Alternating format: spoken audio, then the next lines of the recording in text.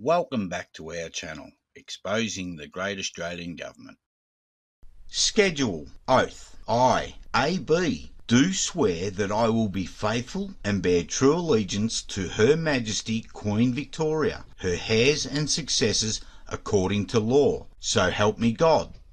Affirmation I, AB, do solemnly and sincerely affirm and declare that I will be faithful and bear true allegiance to Her Majesty Queen Victoria, her heirs and successors according to law. Note, the name of the King or Queen of the United Kingdom of Great Britain and Ireland for the time being is to be substituted from time to time.